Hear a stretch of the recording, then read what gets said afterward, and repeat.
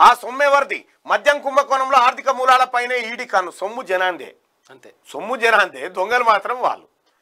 అందుకే తొలుత ఆయా వ్యక్తులు సంస్థల ఇల్లు కార్యాలయాల్లో సోదాలు. పెద్ద ఎత్తున డొల్ల కంపెనీల గుర్తింపు వాటి నుంచే ఢిల్లీ పంజాబ్కు నిధులు. పూర్తి ఆధారాలు సేకరించిన ఈడీ వారి నగదు లావాదేవీల వివరాలు అందించాలని బ్యాంకులు ఐటీకి లేఖలు. ఆధారాలను విశ్లేషిస్తున్న ఢిల్లీ బృందాలు లిక్కర్ స్కామ్లో త్వరలో సెకండ్ ఎపిసోడ్ ప్రారంభం కాబోతా ఉంది సెకండ్ ఎపిసోడ్లో కవితమ్మ కన్నీటి దార మధ్య కారాగారానికి తరలేటువంటి సీన్లు ఉంటాయి కానీ అది కాక మాట్లాడాడు ఏమని?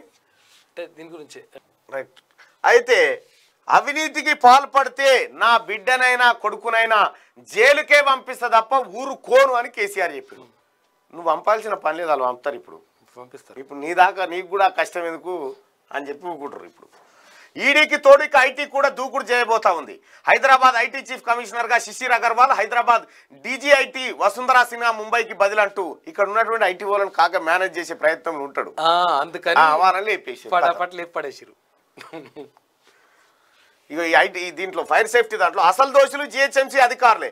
అక్రమ నిర్మాణాలను నిర్మాణాలను ప్రోత్సహిస్తున్నారు. క్రమబద్ధీకరణ కోర్టుకు వెళ్ళాలని సూచనలు ఇస్తున్నారంటే హైకోర్టు ఆగ్రహం.